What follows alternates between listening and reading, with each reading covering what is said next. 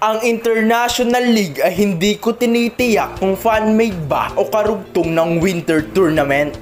Nabasa ko lang to sa isang site na ginawa ng isang community ng slam dunk na nakabase sa bansa na kung saan ito nag-originate. At gaya nga ng sinabi ko, nabasa ko lang to sa isang site at hindi nakamanga version. Kaya naman walang mga animated pictures na naka-indicate. By the way mga idol, pasok ko lang muna intro ko. Come on, come on. Don't gotta work, I be living like a boss do. I got a bottle in my hand when I walk through. Don't care what y'all do, rolling with a small crew. Show you how to win, we can show you how to floss too. If it don't make dollars, don't make sense. This for my people International League Chapter 29 Mabalik lang tayo sa nakaraang bahagi. Dito isang matalinong diskarte nga ang ginawa ni Mitsui upang mapapayag nga itong si Coach Ansay at itong si Mr. Smith na papasukin itong Sakuragi sa laro. At ang lahat ng kagunggungan na ito ay naging epektibo nga. Kaya naman, pinapasok na nga si Sakuragi sa loob ng court. Kaya naman, isang kindat nga ang ginawa nitong si Mitsui dito kay Sakuragi. At itong Sakuragi ay nakatunog nga. Aba, sira ulo to ah. Mukhang hindi ata masakit ang kanyang tuhod. Ginawa niyang niya ang lahat ng yun upang papasukin ako. Mitsui, isa ka talagang henyo. Ha, mahusay ang ginawa mo. Hinding hindi kita bibiguin at alam kong papasok at papasok ka rin mamaya. Mahusay Michi Boy, wika ni Sakuragi sa kanyang isip at papasok nga siya sa loob ng court na pinapagpag nga ang kanyang paa. Kaya naman, nagsisigawan nga ang mga tagahanga ng All-Star. Hoy, ikaw may pulang buhok! Pumasok ka pa! E masakit na nga yung paa mo halatado! Kaya wag mo nang ipilit pa! Ayahan mo na ng All-Star ang manaig sa laban ng ito! Wala kayong panama! Mupo ka na lang! Sigawan nga ng mga tagahanga ng All-Star. At itong sinataba at mito ay hindi nga nagpataig. O ano, taga All-Star, kinabahan na kayo dahil papasok na sa Uragi. Ha! Sabi na nga be, hindi masakit ang kanyang tinamo na injury lalo na't ginamot na siya ng matandang iyon kaya humanda kayo. Nandyan na ang pagbabalik ng hari ng rebound. Yandaan niya yung sarili niyong mapahiya. Sigawan nga ng mga kaibigan ni Sakuragi dito'y mabalik na nga tayo sa laro. At sa pagkakataong ito, hawak-hawak na nga ni Kogore ang bola sabay nagwikang. Miyagi, magpwesto ka na muna. Ako na ang bahala dito. Magbe-bait akong titira ng tres. Ngunit ang dating gawin, wika nitong si Kogore dito ay akma nga siyang titira ng isang tres. Ngunit hindi nga siya rinispeto ng All-Star nung walang ang nagbantay sa kanya. Kaya naman dito nga'y napabulong si Kogore. Mukhang wala silang respeto sa tira ko sa labas.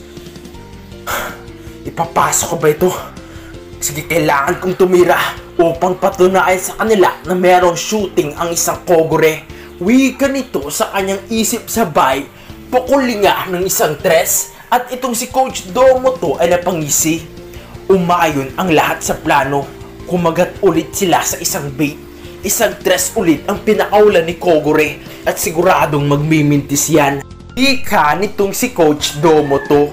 Ngunit sa babangay na unahan nga itong Sakuragi sa box out. Sa tingin mo Sakuragi, papapormahin pa kita. Alam kong may injury ka sa baba. Alam ko naman na hindi ka na makatiis at naglaro ka lamang. Ngunit sa katunayan niyan, hindi mo magalaw ng maayos yung paa mo. Kaya mahihirapan ka sa akin sa box out. Wika nitong si Mikio. Kaya naman ang rebound ay nakuha nga ng panig ng All-Star. Habang itong si Coach Ansay ay nagwika nga. Hindi nila binibigyan ng halaga ang shooting ni Kogore sa tres. Binibigyan nila ng wide open at hayahang tumira. Lang nasa isip ni Domoto ay magmimintis ang lahat ng ito ngunit Diyan ka nagkamali Domoto. Ang inakala mong kahinaan namin ay siyang magpapahamak sa inyo. Kaya humanda ka. Humanda ka domo to. Minaliit mo ng masyado itong si Kogure.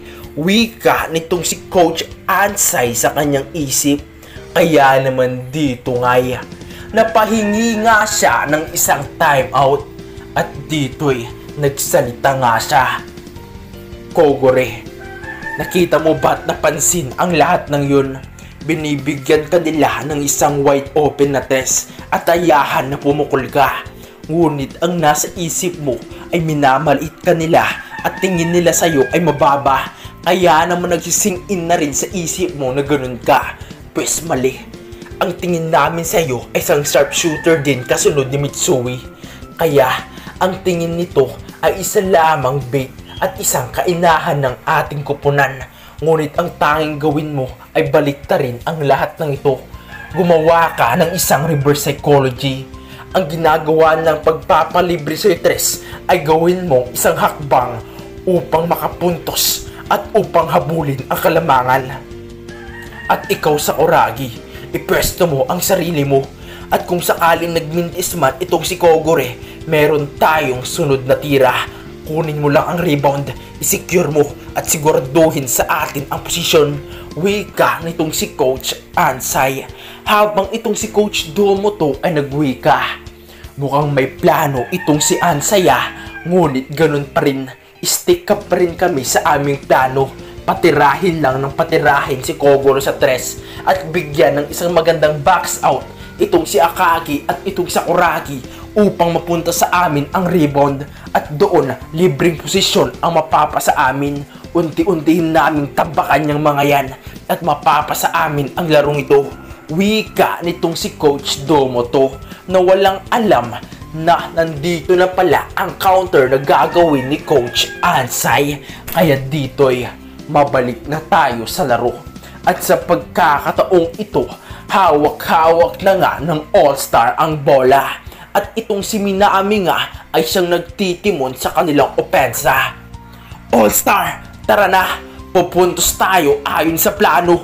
Wika nitong si Minami dito nga nag-overconfidence nga siya nang bigla nga siyang tumira ng isang napakalayong tres. Kaya naman napasigaw nga itong Sakuragi.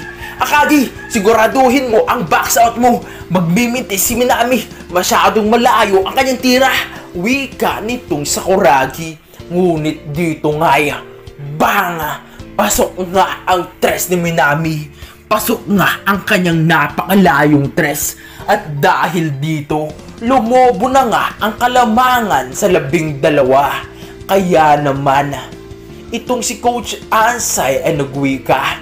Eto na ang kailangan yung gawin. Kogore, magtiwala ka sa sarili mo.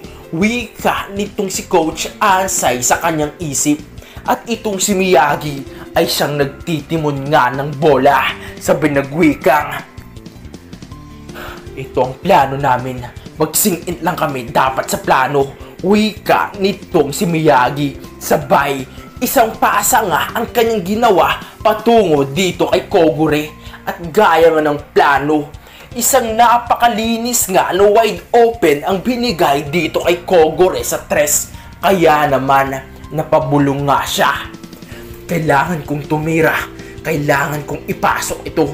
Kailangan, kailangan kong tumira.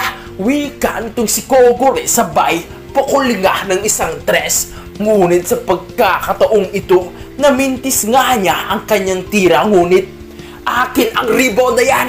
Sige Kogore, tumira ka pa ng isang tres. Wika nitong sa Oragi habang hawak-hawak nga at nakuha nga ang isang rebound sabay pasa dito kay Kogure. At itong si Kogure ay dali-dali tumira ng isang tres. At sa pagkakataong ito, banga, pasok nga ang tres ni Kogure. At itong si Kogure ay napasigaw nga. Shoku, tara, bumawi tayo sa depensa. Wika nitong si Kogure. At dito ang isang napakalinis nga na depensa ang ginagawa nila. Ngunit itong si Minami ay inatake nga ang ring Ngunit dito nga ay, huli ka! Wika nitong si Kogore. At napakalinis ka na still ang kanyang ginawa. At tumatakbo na nga para sa isang fast break ngunit isang tres Sa mismong line nga, tinigil nga niya ang dribble, sabay pumukol. Pumasok ka, wika ni Kogure sabay pukul nga ng isang tres at dito nga'y Banga! Pasok nga ang tres ni Kogure.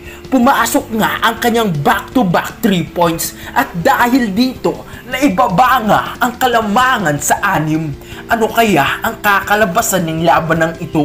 Ngayong nagpahiwatig na ang Kogure at Sakuragi connection.